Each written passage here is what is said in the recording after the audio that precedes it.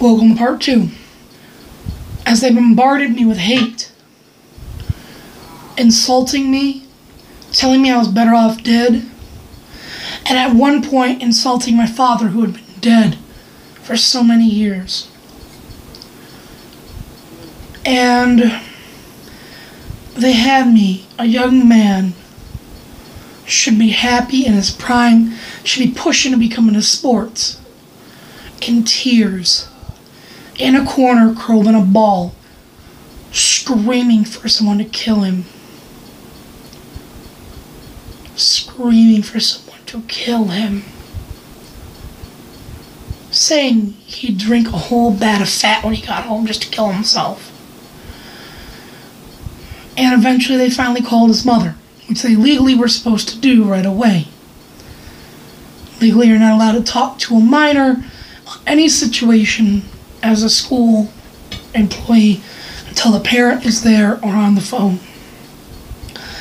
She heard me in tears screaming, and she said, Let my son go.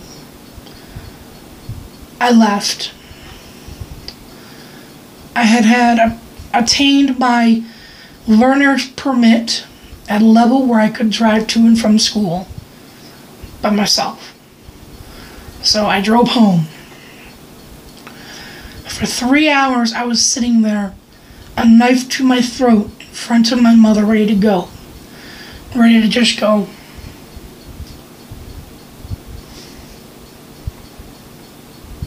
Three and a half hours.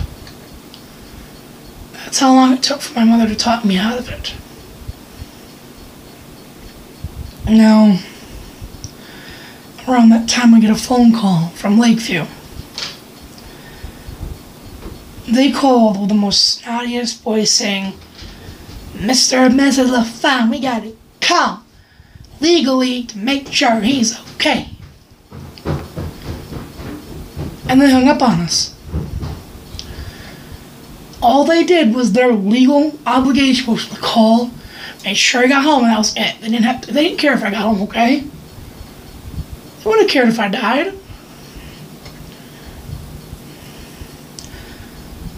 I tried to go through my sophomore year at that school. I tried. But it got so bad, they were failing me.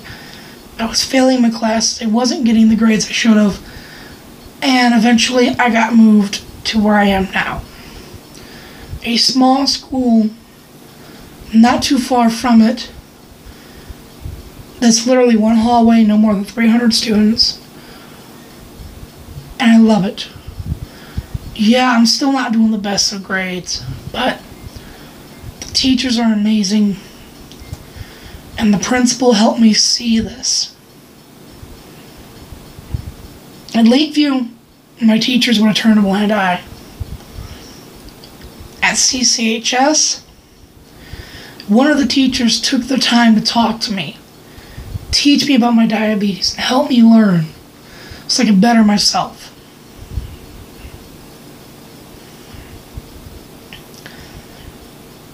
I have lost two pounds this past week from this new dieting idea. Two pounds. Now, it isn't much.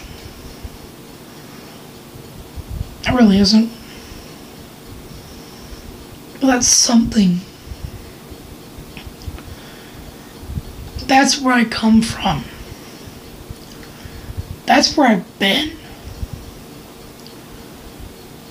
For the past almost three years now, I've been away from that girl that gave me that power. That girl that made me who I am.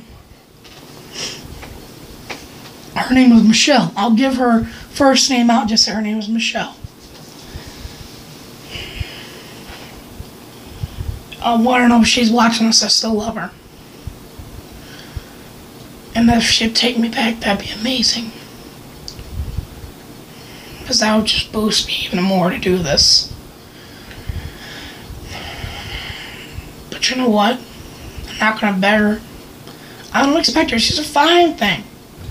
She can get whoever she wants. She can give a fuck less about me. The reason I'm doing this diet isn't because I want to be attractive to women. Because it's not because I want to be skinny. Because, mind you, my goal isn't 180, 160 pounds. My goal is 250 to 280. And I'm happy. I'll be happy. Why? Because at that point, I'll be healthy. I'll survive. And I'll keep writing my book and my life. You can watch these speeches. Better than mine. Alien professionals. But the one thing they won't tell you is not to aim to be a person or be like a person. It's aimed to be you. I could aim to be like Jason David Frank. And for those of you who don't know who Jason David Frank is, think Mighty Morphin Power Rangers Green Ranger, White Ranger, Red Zeo Ranger, for a short time Red Turbo Ranger someone from my childhood who was amazing at what he did, declared at one point the most handsome man on earth.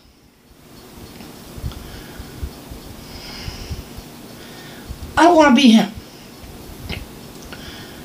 I aim to have a build similar to his currently build. He's a bulkier guy nowadays. My aim is to have his build not to be him. I want to be there to survive, to continue making these videos, to continue making an impact on someone's life out there. Even if I get one view on a video, that's one person who sat there and got to learn about me, and possibly learn a little something themselves. I want my videos to not just be entertainment, but then again, I don't want them to be nothing more than entertainment. I want to know that when I die, my life was on here. And I showed everyone that I'm not going to give up. I'm not going to let this kill me. I'm not going to let this hold me back.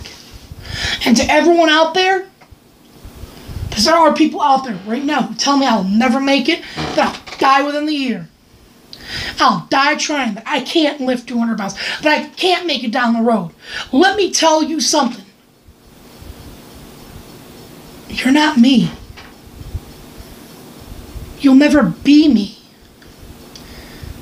And it's because of that I fight on.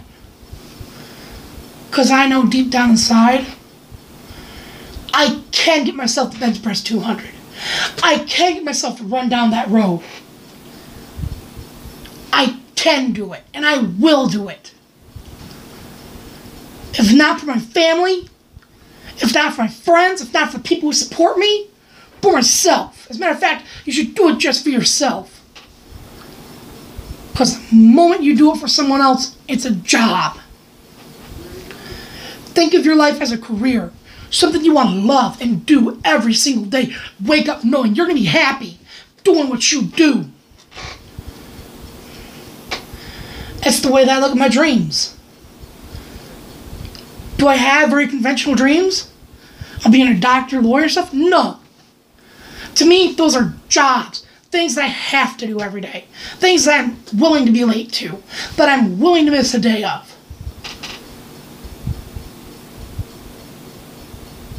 What I'm not willing to miss a day of, what I'm willing to fight for and put the effort into, is my future getting my dream career going. That's what your aim should be. Not to get a job, not to just support your family, not just to support yourself, but to get yourself to where you're happy with what you're doing, making the money you need. If anything, look at it like this. You have a really good paying job, never get to see your family or any of it be used because of the fact you gotta work nonstop to get it hate every last second of it. Or you could be someone who's sitting there, barely makes enough to get by, maybe has to be on food stamp programs, but loves every second of their career. And you know what? I'd rather be that person because I'll be happier and better off that way than I would rich and depressed. The moment you're unhappy, you have to grow up and learn to be happy. It's been a long time since I've been happy. Been a long time since I've had this energy to do this. It's been a long time since I've done anything meaningful. I used to take acting classes and loved it. Used to be in choir. Used to be in performing arts. And I threw it all away because I ran from a bully. And I didn't stand my ground. I had to fall on my ass and learn the hard way. Let me tell you now, you stand your ground. Don't get violent, but don't let them push you around. If the principal won't help you, take it to the superintendent. Superintendent won't help you, take it to the police. Police won't help you, you take it to the government. And then if they don't want to help you, you wait for them to take a swing at you. You get a nice, good mark on your face, clear mark, or someone videotaping it. And as soon as that hit comes through and you get back from staggering, you beat the ever living fuck out of them. You either beat the fuck out of them with a hug and let them know you know their pain, or you put them in their place because they're just some rich spoiled brat. I've met both kind of bullies. I've been only in two fights in my life. First one, back when I used to live downtown. This kid sent some shit to me that just pushed me over that. You rich, white, prestigious prick. You come down my road in a limousine to attend a kid's party, and you want to start talk shit about me? I charged his ass. It took a full grown man to hold me back. I was gonna kill that motherfucker. But I learned. Maybe that prick needed that beating. I'll never know. Never got my hand on him. But boy, I want to. After that day, it was installed by my father that you never hitch. You never use these. Unless it's imminent. Last fight I was in, I'm in elementary. One of my only friends from elementary that kept with me was my bully. He came up to take a swing, and I got lucky enough to dodge it, and he hit the blocker. As he's sitting there, oh, son of a gun, that hurt. Nailed him right in the stomach. And he staggered back and fell on his ass, winded. I picked him up and hugged him. Everyone's looking at each other like, what the hell? And I'm just sitting there hugging this kid. The next day, he came to me and said, hey, I don't want to be your enemy anymore. Let's be friends. And from that day on, every day during free time, we played Legos. We had a good time. Why? Because he was the kind of bully that was looking for a friend. But you gotta remember, there's those bullies, that rare bully, that really needs their ass kicked before they learn who they really are. Remember to always use fighting as a last resort. This has been Airsoft Fatty. I want to thank my Airsoft Nation for watching. And I wish you the best of luck on your journey. Keep me updated on your stuff, I'll keep you updated on the weight and everything. Keep it real. Never hit someone until it's last resort and always hug those you had to hit. Because something drove them to do it. Have a good evening.